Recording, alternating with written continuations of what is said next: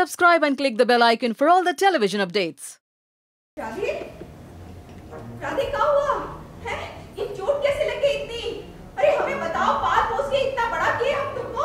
है? ये खून का च- ये जब भी तुम मलियाबाद जाते हो ना ऐसे लुट पिट के आते हो क्या हुआ? हमें बताओ। या राधेला उनके बाद की जो जमानत करवाए है ना महापुरुष कोई और नहीं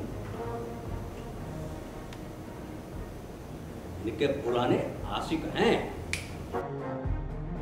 और को कुछ पूछना है? या जाके थोड़ा आराम कर लें?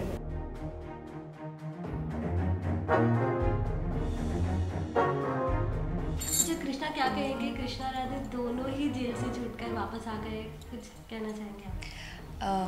अभी पापा जी को मतलब दुबे जी को मतलब मेरे पापा को बचाने के लिए राधे ने बहुत बहुत मार खाई एक्चुअली तो लेकिन कहीं ना कहीं घर वालों को घर वालों ने, मेरे घर वालों ने इस चीज़ को बिल्कुल भी अप्रिशिएट नहीं किया और प्रशांत को सब बहुत ज़्यादा वाहवाही दे रहे थे. बट यहाँ पे शुक्ला जी को मौका मिल गया और शुक्ला जी राधे के सामने, ताकि मेरे और राधे के बीच में कोई प्रॉब्लम क्रिएट हो तो राधे के सामने बोल देता है कि कि तुम्हारे पैसे तो नहीं लिया जिसने पैसे दिया है, वो इसका एक्स बॉयफ्रेंड है. तो राधे को तो बहुत ठेस पहुँचता ही है इस बात पे।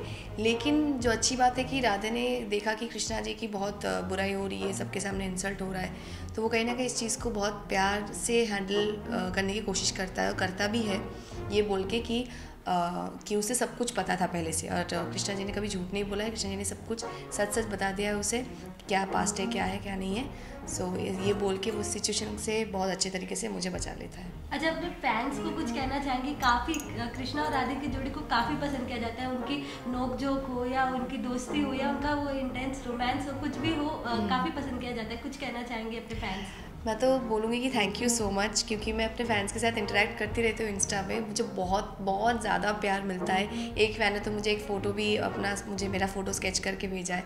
तो एनी एनीवे कि हम दोनों को आप लोग जितना प्यार दे रहे हो आई नो कि रोमांटिक सीन कम आ रहे बहुत कंप्लेन आ रही कि रोमांटिक सीन ज़्यादा लाओ। अब रोमांस धीरे धीरे बढ़ रहा है ना तो धीरे धीरे आएँगे रोमांटिक सीन क्योंकि ड्रामे भी बहुत ज़रूरी है।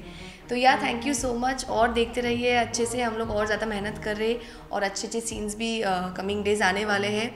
So yeah thank you thank you so much thank you Radhe Radhe क्या हुआ? है? ये चोट कैसे लग गई इतनी? अरे हमें बताओ पार पोस के इतना बड़ा किए हम तुमको? है? ये खून का ये जब भी तुम मलियाबाद जाते हो ना ऐसे लुट पिट के आते हो क्या हुआ? हमें बताओ। या राधेला उनके बाद की जो जमानत करवाए है ना महापुरुष कोई और नहीं? इनके पुराने आशिक हैं। और को कुछ पूछना है? या जाके थोड़ा आराम कर लें।